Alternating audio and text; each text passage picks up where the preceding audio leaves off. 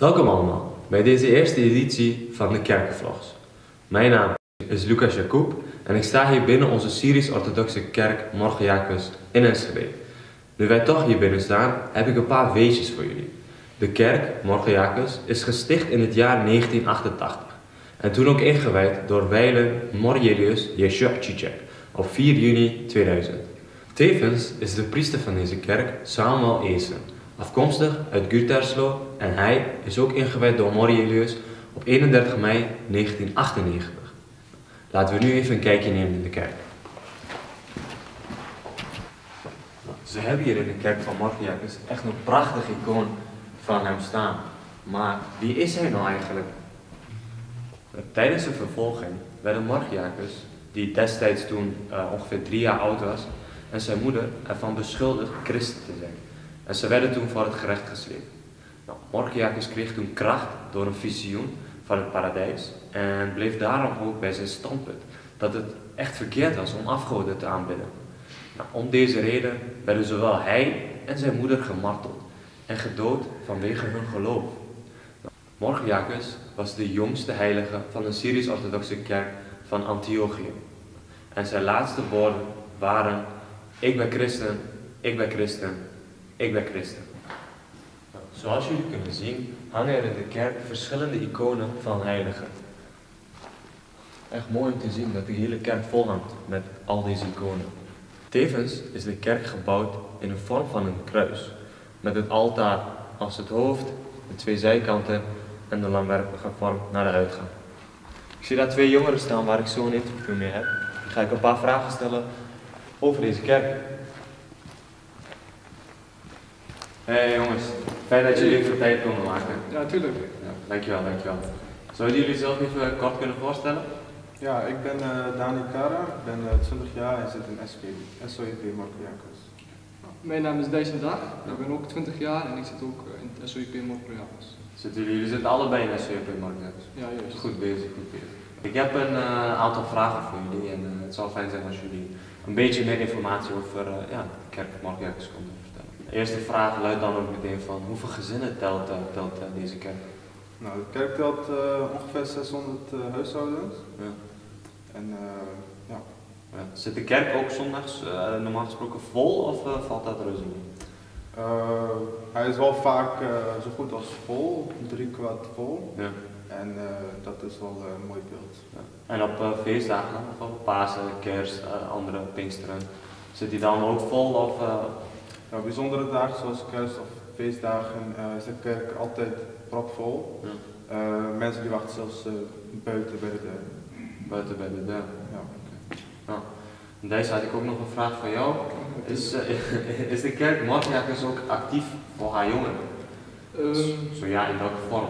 Ja, wij zijn best wel actief. We hebben, uh, we hebben sinds kort het SUEP Morkrojakos. -hmm. Dat is een team. Um, wij organiseren daar um, ja, eigenlijk elke maand wel een bijbelstudie. En ook uh, verschillende bijeenkomsten om gewoon jongeren uh, bij elkaar te brengen. Ja. En ook verschillende activiteiten en dagjes uit organiseren we ook. Ja. Is ook best wel, eigenlijk volgens mij een van de grootste parochies hier in omstreken van Twente. Ja, dat Ja. klopt, ja. Volgens mij trekt het ook heel veel jongeren bij elke activiteit. Tenminste, waar ik denk dat wij daar.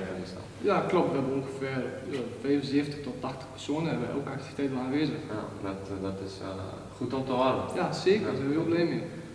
Um, had ik nog een vraag voor Dani. Uh, is de kerk hier uh, op doordeweekse dagen gewoon de hele dag open of hoe zit dat precies? In principe is de kerk elke dag open. Ja. dus je kan hier altijd langskomen. Ja. ja. Weet je ook wanneer de gebeden worden gehouden? Um, zomertijd 5 uur en wintertijd 4 uur. Okay. Ja. Maar het is wel fijn voor die mensen die dan uh, de kerk nodig hebben, dat die gewoon ter beschikking staat voor die ja. mensen. Ja. Had ik nog een vraag voor Thijs. Je zei dat jullie evenementen houden en uh, voor SCUP. Waar, Ja. waar houden jullie deze evenementen als ik vragen mag? Eh, de evenementen houden we hier in de zaal, dat is hiernaast. Ja. Dat was best wel een grote zaal. Ja. Dus eh, evenementen zoals eh, ook eh, grote feesten kunnen ook eigenlijk worden gehouden. Ja. ja. En daar, daar kunnen mensen ook na de kerk dus dan ook samenkomen, neem ik aan. Ehm, ja, dat kan. Ja, voor, voor koffie en thee bijvoorbeeld. Ja, zeker kan dat. Zouden we, zouden we daar een kijkje kunnen nemen bij, eh, bij, bij de zaal eh, om te kijken waar jullie precies de evenementen houden?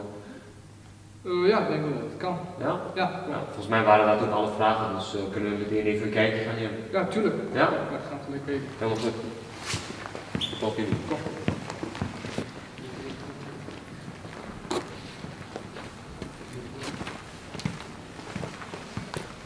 Oké.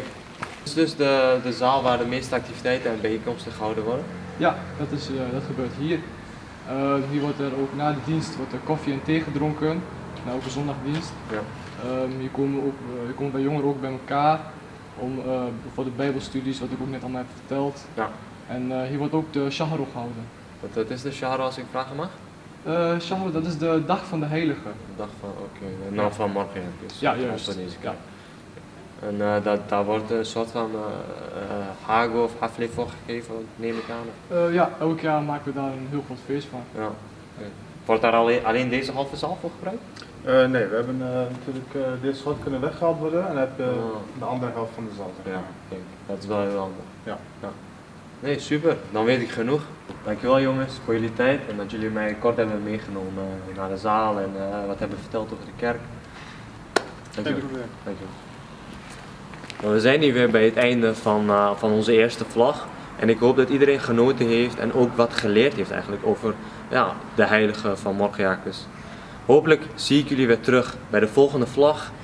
Eh, voor mij zit het hier erop, maar eh, ik ga Dijssen en Dani nog even een lesje leren met, met tafelvoetbal. Tot de volgende keer. Ik denk dat je mij kan afmaken, jongen.